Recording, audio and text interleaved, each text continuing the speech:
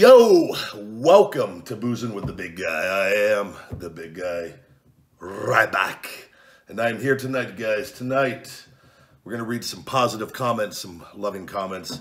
I'm doing a little bit of the Jack Daniels Honey Jack. True story on, on this right here. My first uh, encounter with this, my good buddy uh, Stu Bennett, you might know him as, I'm afraid I've got some bad news. Wade Barrett. He, uh, at WrestleMania one year, and I don't remember which fucking one. I was in a few. I think it was in four or five. The uh, I think six because we were NXT. We were at one. We went on the stage and like waved at the crowd. I was in a really shitty suit with a cowboy hat. Look it up. It's online somewhere. Just a fucking bunch of guys that no fucking clue about anything back then. But uh, Wade got drunk on Honey Jack on Big Show's bus, and but he wasn't working. This was I think he was out injured. I think I was just coming back. I can't remember what what the um, it was the year. What year was this year? Fucking Punk worked Undertaker because I remember we were sitting there. They were in the ring, and uh, this is this is actually a pretty funny story. We're we're starting off hot here. I'm boozing with the big guy. I'm drinking honey jack and water tonight, guys. Just so you know, tonight's a tonight's a really fun night. I'll never forget. I'm sitting with Wade we're in the we're in the stands. and me and Stu, we we would get together, guys. There's so much shit, so much history with me and Stu. I just love like Stu. You when I can make when I can make Wade laugh, like I know I know I'm on my game because he's he's a tough fucker to get. But when he goes, he fucking belly laughs and it not, it might be one of my favorite things in the world to make Stu Bennett like truly belly laugh. Because he's a miserable UK prick. Because of the fucking clouds and the weather and like there's just something about it when you just get the, some UK people have really negative personalities. And Wade he's one of my fucking guys. I was he's one of my good friends in wrestling. But like they have they're not easy to get to laugh. And uh Hunter and Stephanie had their kids ringside and uh, I we're sitting in the the, the fucking uh, in the stands, and I and there's I think there was a group of people around, and uh, but it was like all guys that we like we all trusted, and uh, no fucking stooges or something that's gonna go fucking say what the fuck we're talking about in the stands because that shit exists, guys, and. Uh, but anyways, uh, Stu, I said to Sully, Stephanie had to had the kids in the ring and I can't remember exactly the exact details, but I said, so I go, I wasn't, I don't think I debuted yet. I, I don't know what, can't remember if I was out with the ankle injury. This was, I think, the Atlanta. I hadn't come back. I was still, they were trying to figure out what was wrong with my, my ankle still. The, none of the doctors knew and they wouldn't listen to me. Take the fucking metal out of my leg, guys. It's not rocket science, which eventually happened and then I was able to come back.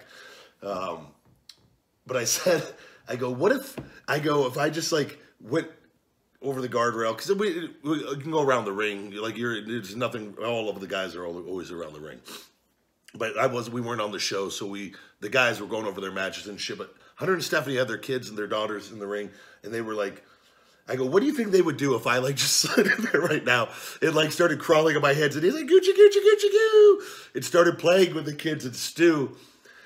It was just all just because one never would do that but like not cool with the family. I hadn't done shit at that point.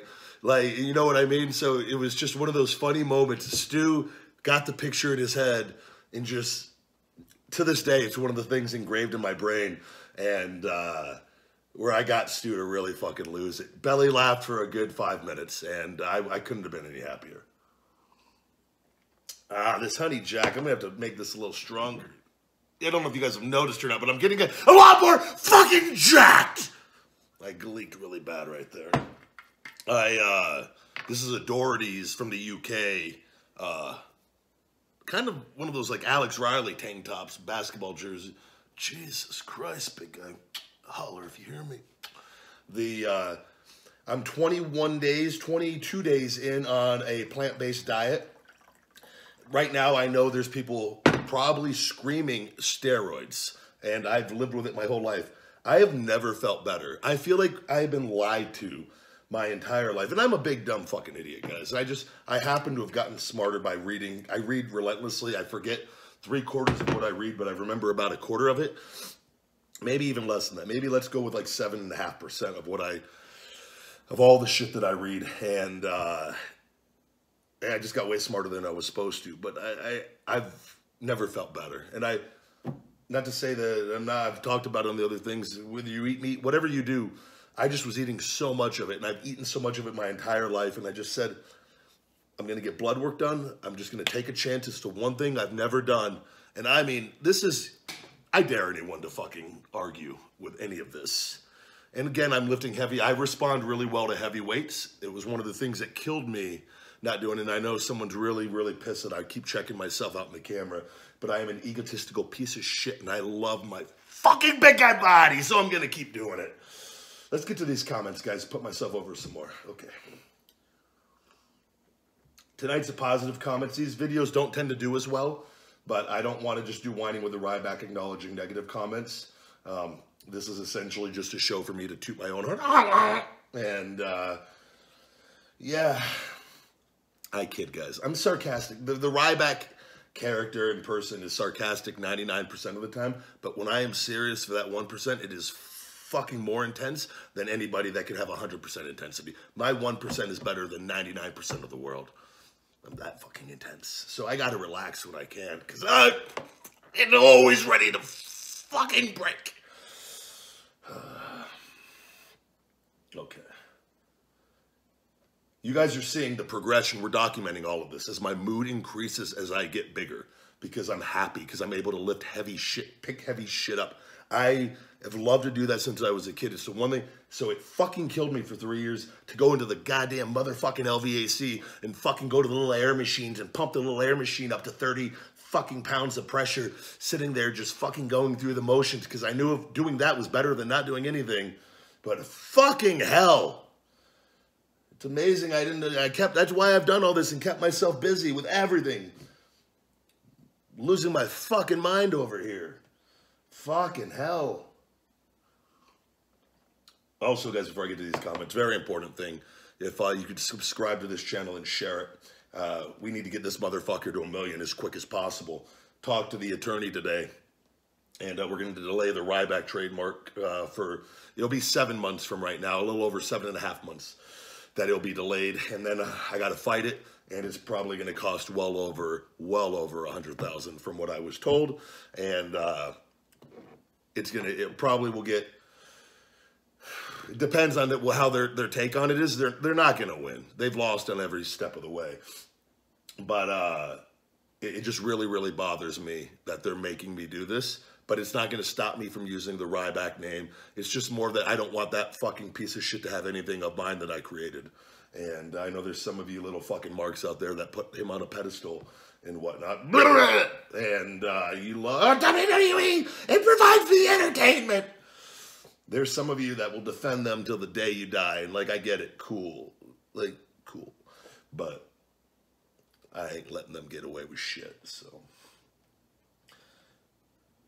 all right. Because the stuff they've done to me and the shit they've tried to do and they're still doing and the stuff they've put out, you guys don't expect anyone to understand.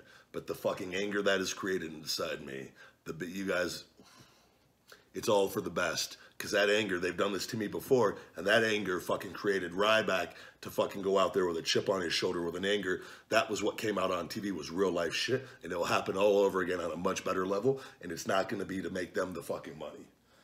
It'll be wherever the fuck I go. All right, let's get into putting myself over a little bit here. Tryheart Ninja says, uh, Ryback, you're just so amazing and I know I should comment about the video, but I just want to thank you for the positivity you spread and everything. I deal with a lot of mental health issues, one of them being PTSD. And seeing you do what you do is amazing. It's just amazing. Thank you so much. Tryheart Ninja, thank you very much. And I sympathize, man. And uh, I can only speak from my own experience. And, and I, you know, I've, I've talked about depression before, and we all get it, and we all get sad, and there's different levels to this shit. And you know, there, there's there's people. We all nobody goes through life without bad shit happening. It's never happened once, right? Just think about it. Like it, it, the longer you live, the, the more the likelihood you're going to have to experience um, what we perceive to be bad things. So uh, I'm glad I could provide you with some entertainment. And uh, I'm a stubborn motherfucker, and I I won't stop. And uh, I just needed to get myself to a certain level health wise to be able to push. And I'm, I'm glad I'm able to inspire you. And hearing, getting comments like this inspires me. That's the stuff that I love is getting the good comments that I help people because you guys help me too. And it, it, to give, give, give, take, give, give. I getting drunk? I might be getting drunk. Thank you, is what I was trying to say. Moving on. Mickey D's bruh. Yo, Ryback, you my inspiration and a big role model to me. Thanks for everything you do. Feed me more. Mickey D's, thank you very much. I always, uh, I love comments like that. That always makes me smile. Yo, Ryback, you're my inspiration. Sorry, I was reading that for me. That was really awkward. I was just, that was, this Honey Jack's pretty strong. Maybe it's because of the two shaker bottles I had of it prior. I'm not going to lie, guys. A good night of, you can't do this stuff all the time. But just working morning to night, and like, like I told you guys, these videos, it just allows me to mentally unwind. This is why it's just me. Just it's like, this is me, just I let loose on these fucking things because it's, I need to. Omaha Mercenary. Weird name. Love you a lot, big guy. Can't say again how much you help people out. Thank you very much. A lot of thank yous on these because I don't. It's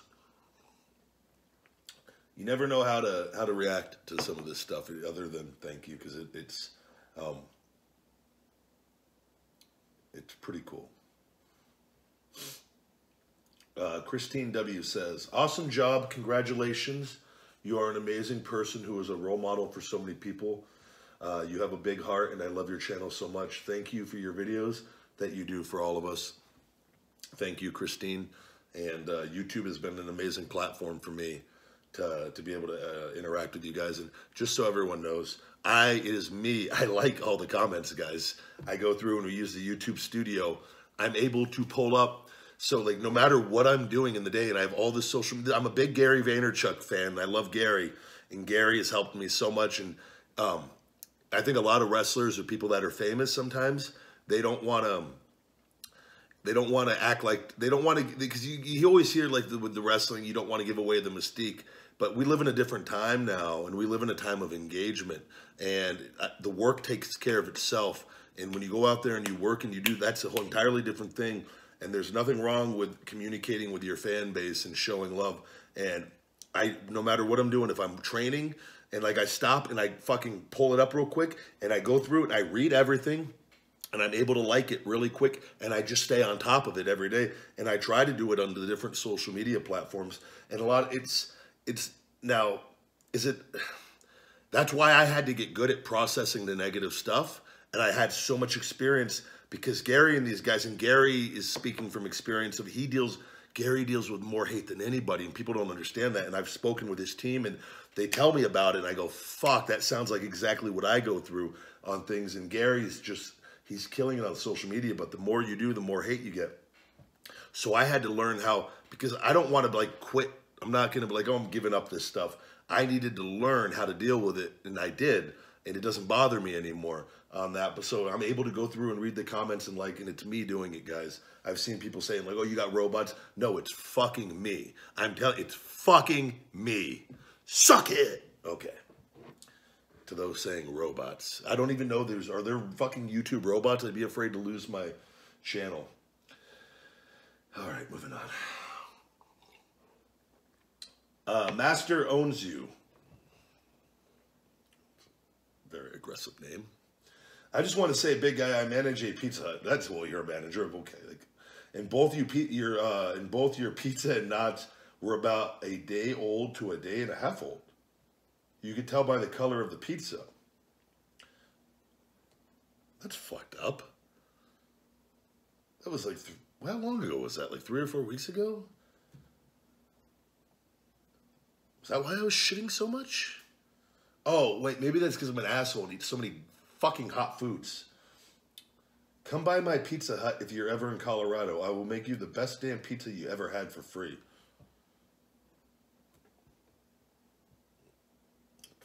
I'm gonna remember that. Maybe tell me the city in Colorado so that I could fucking narrow it down a little bit, buddy.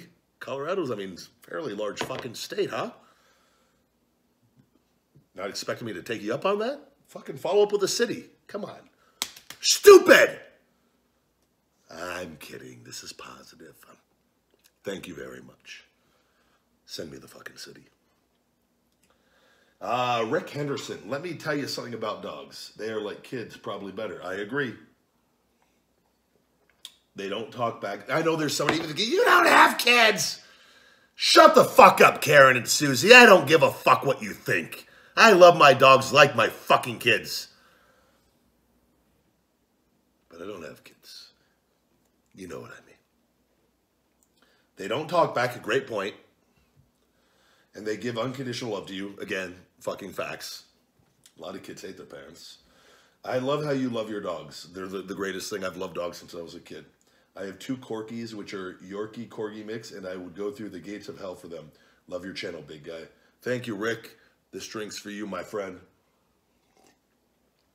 I've uh, I sometimes feel a little trapped with everything going on with the dogs, and I've talked about it a lot on the podcast. Conversation with the big guy Ryback. If you're not subscribed, please subscribe, guys. Listen for five or ten minutes, just to give us a listen. And uh, the channel is growing really, really fast. And but um, I'm not trying to plug everything all the time here. Sorry, I just want the podcast. I, I put a lot of that podcast for three years.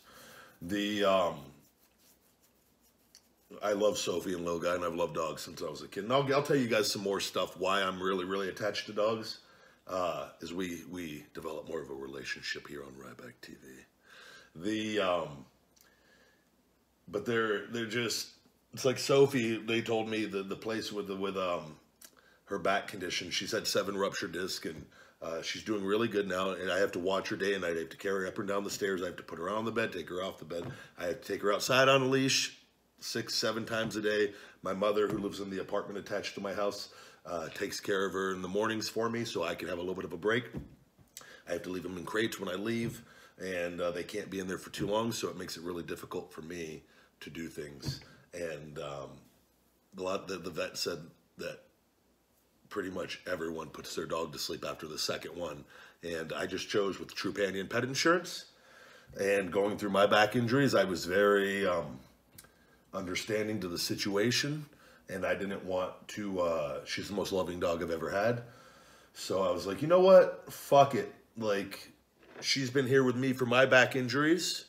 I'm gonna be there for her, and that was my thought process in the fucking thing. And I've had to put dogs down in the past, and she was too young, in my opinion, to put her down. And uh, she's my fucking baby. All right, we don't want to get too fucking emotional over here. I'm fucking kill the gimmick. God damn it. Fuck. Fuck. All right. Uh, Kirsten Rodriguez says, We'll put a little more on you, Jack, in this. Jeez. Should I enter the Mr. Olympia? Um, I needed to hear that hurt people hurt people. It's true. I adore you. Shh, Kristen, I'm pouring a little more. Uh, that was a lot. Fuck. I don't have a lot of water. That's going to be like drinking straight fucking Jack. I might fucking black out on this show. Nothing will be doing those Four Lokos. That's like 24 shots. I did it in under three hours. How I was not worse off. I, and I woke up early and came downstairs and recorded, ordered 15 Del Taco tacos. 20, actually, and ate 15 of the 20. I don't know why I ordered 20. I was I, I was drunk. I was drunk all day. I was drunk doing that. If you want to see me fucking fucked up, watch that Del Tacos video, guys. I look like shit. That was when I first started eating vegetarian or plant-based. I mean, you could tell now I'm much younger in the three weeks of doing it. I, I mean, I look like I'm probably 27 and a half. Okay. Stop it. God. Nothing's worth worse. Nothing's worth worth a little fucking a little lisp worth. Moving on. Kirsten, Kirsten Rodriguez says, I needed to hear that hurt people hurt people. It's true. I adore you. Such a great mind and such great positivity. Big guy who understands how life should work with people always sending out a good message. Fucking yes, please. Thank you very much, Kirsten. And I, that is, it's, I've learned that and through Gary and through me that, um, uh, people that are doing good don't try to go hurt other people. Like I told, I've talked about this before. We all see things we don't like. That's okay. We're all going to see things that we don't connect with or don't understand or don't like, and then we're going to look and we're going to think like, oh, they're they're fake or they're this or they're that, and it's like it's. I get it. I get it. But it's when you stop and actually try to comment and hurt other people. That's when you're not in a, like you just people that are in a good place. You just don't have time for that shit, and you you got to teach yourself that. And that's what like I I feel like social media is so new, and Gary's so big. Gary Vaynerchuk is so big on people being positive on here, and I'm gonna be on fucking stage with Gary, and I can't wait. I, I love Gary because he's putting out a good message. He's teaching kids because there's so many people not teaching kids, and we're way too overpopulated, and shit is fucking scary. That it needs as many of us putting out the good message because there's a bunch of dumb fucks that had kids for fucking for far too many years, and we are living in idiocracy. But it's not humans by nature want to do good, and you just have to fucking put that out there. And like it's like I, I choose to do good. Don't get me wrong. Like I get very angry, and I have a lot of I have a lot of anger and negativity in me at times that I could let out if I want to, and I do my best. I'm like the fucking meditated Hulk, trying to fucking keep everything calm. And that there's always a better way. Just you don't need to spread hate though. There's no need for it, and it's only hurt people that do it. And that's the bottom line. There's no, it's a fact. It, it's fucking, it, it's, it's a fact stronger than fucking gravity, in my opinion. All right. Why did I just move my arm like I had a fucking shirt on? I was adjusting my sleeve. God, what the fuck is wrong with me? Where do I start? All right. Uh, okay, I can't say this name. Oh, I think it says it's supposed to say lethal dosage 50, but it's a 3 instead of an E. Got it. From the... Oh, that's strong as shit! Oh, fuck. From the 630 point Ryback, you hit the nail on the head. I can remember... Fuck, I'm getting drunk. I can remember years ago, a lot of these wrestling websites gave you so much shit for being a Goldberg clone and being quote-unquote stale uh, hell, you've won me over as a fan just from the weekly videos. If people would look at people outside of entertainment instead of thinking wrestling characters are an imitation of real life, they'd learn a lot more. Thank you very much. And in all fairness, a lot of this stuff, I, I, I haven't changed. This is the best part. Like I did a lot of this stuff with Rybaxel on like WWE.com stuff, and they just wouldn't they wouldn't put it on TV because they didn't want people to see. But they kept us busy all the time, and I was on every pay per view and but a lot of fans like they don't watch everything all the time and whatnot. So, and I didn't put as much out on social media at the time because I was, I didn't understand social media and understand that I. that's one thing now. I think so many talents should be on there. Like Matt Hardy's a genius doing what he's doing with it right now because you can counter what they're trying to do on their programming, and what you can actually do is build a better, more loyal audience doing stuff like YouTube, which every WWE talent should do YouTube. That's just my opinion and uh, because you can counter a lot of things going on. Moving on. DTWTM, love your channel, man. It's refreshing seeing somebody famous so real and relatable. Great food review. I'm going to have to try um, these for sure now. Got me hungry. I wish I, you know, I'm doing this the plant based stuff. I'm not doing nearly as much, but I actually, guys, we're going to be doing some chocolate crickets coming up here. I think the chocolate crickets might actually be out before this video, so check that out. And uh, we've actually just ordered uh, bugs kebab, a whole kebab of like cockroaches and worms and fucking nasty bugs. And I'm gonna eventually do that on this channel. And it's I joked about it before, but you know what? It, I want you guys to understand the the rarity of Ryback because it fucking bothers me. And without drugs and and again TRT within normal ranges of everything I've done in compared to people of the past that were on steroids and things, it's and I've seen people make comments of once in a lifetime fucking athlete and things. It, it's I'm very, very confident in my abilities and in my work ethic, and I want to show you guys my mentality and why, with everything with that fucking company and the shit that they did, why I'm so fucking internally angry on things. And I want you to see this body is not a result of drugs, it's a result of fucking hard work and not steroids in the mind. And it's an entirely different thing to people that do do that shit. So I'm just, I'm, I'm doing crazy shit. I want you to see that it's all in the mind. And I've overcome so many fucked up things in my life. And I just want you, when you put your mind in the right place, you can do anything. So that's what my, my line of thinking is on this. Uh, last one, last one. Oh, this is a long video. Yo, Ryback, back again and love the Brad went once. Uh, Yo, Ryback, back back again and love the videos you put out. I want to say thank you for all your motivational speaking. Since watching your videos, man, I have had more confidence to speak out about my stuff.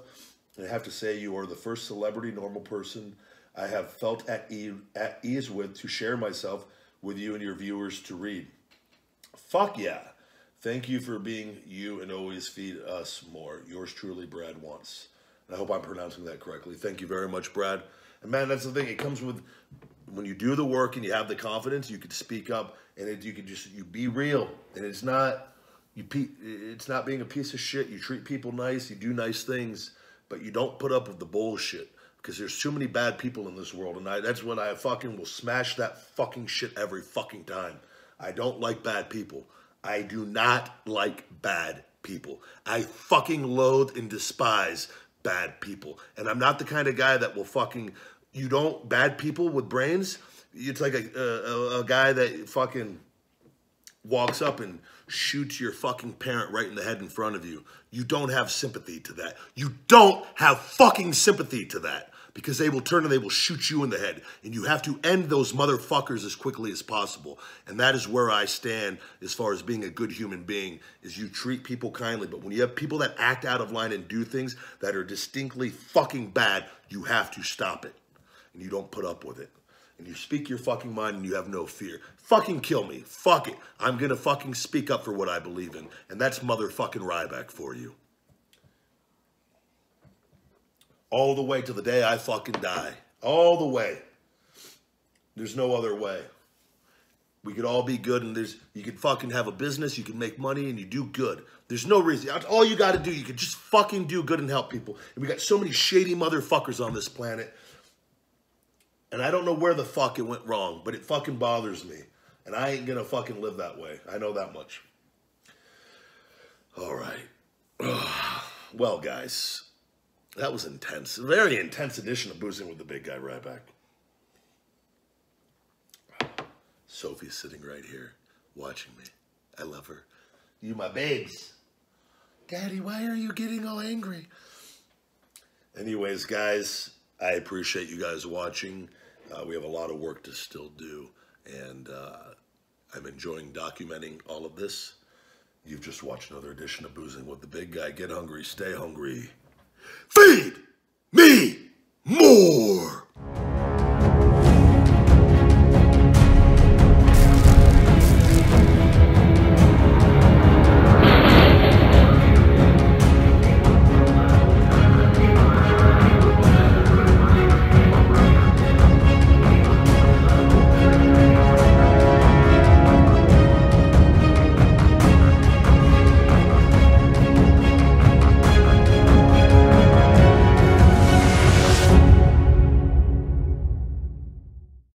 Thank you guys very much for watching Ryback TV. If you could smash that subscribe, hit that like button, share this channel, and for Feed Me More Nutrition on feedmemore.com, save 10% with Podcast 10, click here for my podcast conversation with the big guy Ryback, available on all podcast platforms.